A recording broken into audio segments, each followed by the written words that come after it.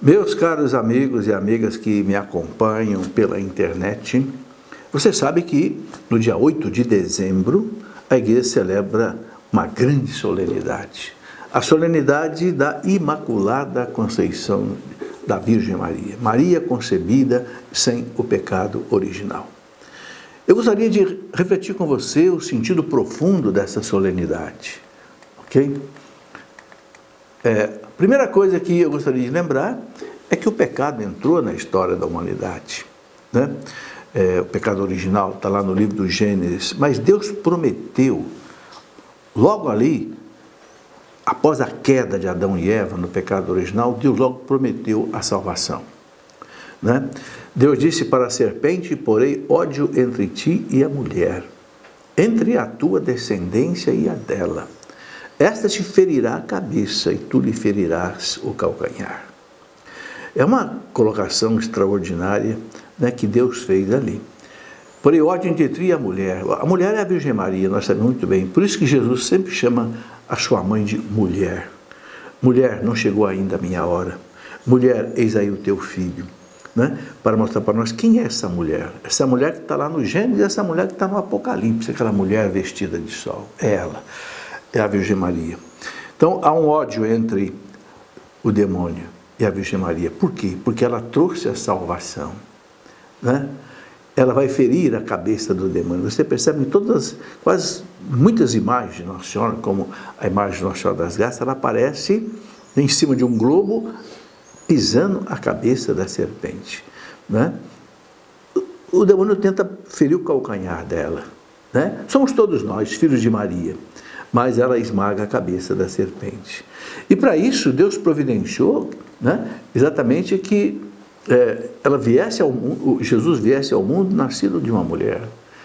São Paulo fala na carta aos Gálatas, né, Deus enviou seu filho ao mundo nascido de uma mulher. Porque ele tinha que ser homem. Para ele poder pagar o pecado da humanidade, pagar o preço do nosso resgate diante da justiça divina, ele tinha que ser homem igual a nós em tudo, exceto no pecado, como diz né, o, o, a carta aos Hebreus, para que ele pudesse pagar o pecado do homem. Né? Então, ele veio de uma mulher. Então, nós vemos bem que, bem no ponto central da história da salvação, se dá esse acontecimento ímpar, extraordinário, em que entra em cena a figura de uma mulher. Né? Aquela mulher, Eva, lançou a humanidade realmente nas trevas do pecado. Mas Deus, ele age sempre na, na mesma realidade. Então, uma outra mulher, uma nova Eva, vai reparar o que fez a primeira Eva. Né? Então, aí surge a figura da Virgem Maria. Um grande cardeal da igreja, que já faleceu, o cardeal Sinens, ele dizia que a santidade do filho é causa da santidade antecipada da mãe. Como o sol ilumina o céu antes de ele mesmo aparecer no horizonte. Então, a santidade do Filho, a santidade de Cristo, é causa de santificação antecipada da mãe. Ou seja, é? quando o Papa proclamou o dogma da Imaculada Conceição, ele disse isso. Né? Pelos méritos da morte do seu filho da cruz, Maria foi preservada de toda a mancha do pecado original. Né? Hoje eu disse a ela, né, no dia da Anunciação, não temas, Maria, pois encontraste graça diante de Deus. Né? Eis que conceberás, dará à luz um filho e você vai colocar o nome dele de Jesus. Né? Cheia de graça. Nós rezamos na Ave Maria, Ave Maria cheia de graça. Em latim se diz gratia plena, né? Plena de graça. Por quê? Porque nela nunca teve o pecado, nunca teve a mancha do pecado, né? E hoje disse ainda ela, né? Ele será grande chamar-se-á filho do Altíssimo, e o Senhor Deus lhe dará o trono do seu pai Davi, e reinará eternamente na casa de Jacó, porque de Jacó veio o rei Davi, veio Jesus, e o seu reino não terá fim. Está lá no, no, no, Evangelho de São Lucas, capítulo 1, versículo 30 e seguintes. Né? Então, a gente sabe que Nossa Senhora foi concebida sem o pecado original.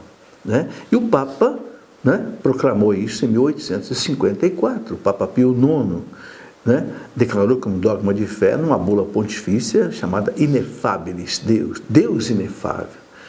E o Papa ali, né, na Praça de São Pedro, né, com mais de um milhão de pessoas ali, e mais de 500 cardeais, né, entre cardeais, bispos, arcebispos, o Papa então declarou nós declaramos, decretamos e definimos. Sempre que o Papa pronuncia um dogma, ele fala assim: nós declaramos, decretamos e definimos que a doutrina segundo a qual, por uma graça e um especial privilégio de Deus Todo-Poderoso, e em virtude dos méritos de Jesus Cristo, olha aí, em virtude dos méritos de Jesus Cristo, Salvador do gênero humano, a bem-aventurada Virgem Maria foi preservada de toda a mancha do pecado original no primeiro instante de sua concepção. Foi revelada por Deus e deve, por conseguinte, ser crida firmemente e constantemente por todos os fiéis. Ou seja, o Papa bateu o martelo. Né? Não há dúvida. É, quando o Papa proclama um dogma, é porque ele quer acabar com qualquer mínima dúvida que possa existir. E aqui eu quero destacar nessa palavra do Papa algumas coisas. Primeiro que ele fala né, é, que Maria se tornou virgem aí por um especial privilégio de Deus Todo-Poderoso em virtude dos méritos de Jesus Cristo. Como se Jesus Cristo não tinha nascido ainda? Alguém pode perguntar. Como pelos méritos dele, da sua morte na cruz, acontece que para Deus não existe o tempo. Para nós existe passado, presente e futuro. Para Deus não, para Deus só existe presente. Tudo que já aconteceu na história da humanidade, tudo que vai acontecer para Deus é presente. Porque Deus é onisciente. Então, ele, sabendo já da realidade dele que é presente, mas que para nós seria futuro, sabendo que o Cristo ia morrer na cruz daquele jeito, a primeira pessoa que foi salva do pecado original foi a Virgem Maria. Salva como? Não como nós. Nós recebemos o pecado original e fomos salvos pelo batismo, que apaga o pecado original. Maria não. Maria foi salva por antecipação, como se ela tivesse sido assim vacinada contra o pecado original. Quando você vai se tratar, você pode se tratar de uma doença de duas maneiras. Ou você toma um, uma vacina para não pegar a doença, ou você, depois que pegou a doença, se trata com um antibiótico, etc. Nós tratamos com um antibiótico né, do batismo. Maria não, Maria foi vacinada contra o pecado, não. pelos méritos da morte do seu filho na cruz, diz o Papa. E outra coisa que o Papa diz muito interessante, né, que isso foi revelado por Deus. Alguém pergunta, mas como se isso não está na Bíblia? Explicitamente não está na Bíblia. A Bíblia dá sinais disso cheia de graça. Mas na Bíblia não está explícito que Maria foi concebida sem pecado original. Mas o Papa foi revelado, diz que foi revelado por Deus. Como? Tra pela tradição da igreja. Aí você vê, não é pela Bíblia, é pela tradição, porque nós católicos não, não temos só a Bíblia como revelação de Deus. Temos a Bíblia e temos a tradição, que inclusive foi a tradição quem montou a Bíblia. Sem a tradição, a Bíblia não existiria. Ok? E outra coisa que o Papa diz, né? É, por conseguinte, isso deve ser acreditado firmemente e constantemente por todos os seus fiéis. Ponto. Né? Maria concebida sem pecado original, todo mundo deve acreditar. O grande Santo Agostinho, que morreu lá em 430, dizia: nem se deve tocar na palavra pecado em se tratando de Maria. Isso por respeito àquele de quem mereceu ser a mãe, que a preservou de todo o pecado por sua graça. Está lá no livro Glória de Maria, essa citação, né, no livro de Santo Afonso de Ligório. Quer dizer, é, jamais a mãe do Filho de Deus podia ter pecado, porque ter pecado significa ser, de certa forma, escravo do demônio. Como é que a mãe do Filho de Deus poderia ser escrava do demônio? Então, sabe o que gente fala? Nem pensar nem se deve tocar na palavra pecado. Né? O grande São Cirilo de Alexandria, lá do norte do Egito, que morreu em 444, dizia algo muito bonito, né? Que arquiteto, erguendo uma casa de moradia, consentiria que seu inimigo a possuísse inteiramente e habitasse? Né? Assim Deus jamais permitiu que seu filho, seu inimigo, tocasse naquela casa em que ele seria gerado homem. Né? É outra citação de um grande santo da igreja, padre da igreja, São Cirilo de Alexandria. Também o São Tomás de Aquino, o grande São Tomás de Aquino, na obra Glórias de Maria, traz a citação, essa obra Glórias de Maria é do grande Santo Afonso de Ligório, doutor da igreja. Ele coloca lá no livro dele essa citação de São Tomás de Aquino: O Espírito Santo descerá sobre ti. Ela é, portanto, o templo do Senhor, o sacrário do Espírito Santo. Por quê? Por virtude dele se tornou mãe do Verbo encarnado. Então, se ela é o sacrário do Espírito Santo, que tornou mãe do Verbo encarnado, não podia ter pecado. O nosso catecismo, o catecismo da Igreja Católica, no parágrafo 508, no 508, ele diz assim: Na descendência de Eva, Deus escolheu a Virgem Maria para ser a mãe de seu filho, cheia de graça. Ela é o fruto mais excelente da redenção, desde o primeiro instante de sua concepção. Foi totalmente preservada da mancha do pecado original e permaneceu pura de todo o pecado pessoal ao longo da sua vida. Então veja, Maria não teve o pecado original e também não teve pecado pessoal durante toda a sua vida. Está lá no catecismo da igreja. É muito interessante que no dia 27 de novembro de 1830, né, é, nós acabamos de celebrar essa festa, né, Nossa Senhora das Graças apareceu a Santa Catarina Labouré, lá na Capela das Filhas da Caridade, de São Vicente de Paulo, né, lá em Paris, lá na rua Delubac, e lhe pediu para mandar cunhar, né, propagar a devoção à chamada medalha, que ficou sendo chamada de medalha milagrosa né? precisamente com essa inscrição. Ó Maria concebida sem pecado, rogai por nós que recorremos a vós. Ou seja, Nossa Senhora veio ela mesma, né? mostrar nessa medalha, medalha maravilhosa, né? De um lado tem a imagem da Virgem Maria, na Senhora das Graças, pisando a cabeça da serpente em cima do globo, né? E, e, o termo Maria concebida sem pecado, rogai por nós que recorremos a vós, em francês. Né? E do outro lado da medalha, o M de Maria, encimado com a cruz, embaixo os dois corações de Jesus, transpassado de uma coroa de espinho e dela transpassado com a espada das sete dores. E essa medalha fez tanto bem, fez tanta gente conseguiu curas e milagres que o povo começou a chamar de medalha milagrosa. É uma medalhinha que a gente deve usar. Eu sempre carrego aqui comigo junto com o crucifixo, junto com o Agnus Dei, né? carrego aqui a medalhinha, está aqui, de Nossa Senhora das Graças. Né? É, quem usar essa medalha com devoção, né? terá realmente graças especiais de Nossa Senhora. Mas ela veio, sobretudo, para isso. 1830, 24 anos antes do Papa proclamar o dogma da Imaculada Conceição, ela veio exatamente para dizer, né, eu sou imaculada. Eu não tenho o pecado original. Né? É, a Maria concebida sem pecado, rogai por nós que recorremos a vós. Né? E, e é muito interessante que Nossa Senhora vem confirmar isso mais uma vez.